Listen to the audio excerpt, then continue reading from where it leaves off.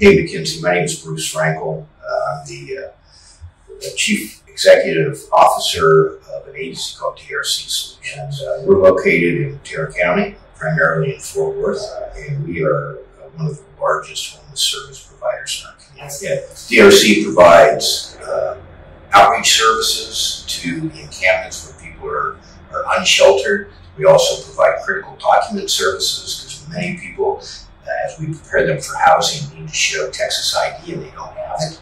Um, and we also provide uh, intensive case management. So we have specialized in dealing with the chronically homeless, uh, specifically those people with serious mental illness, as the major uh, outreach and housing placement agency in Tarrant County.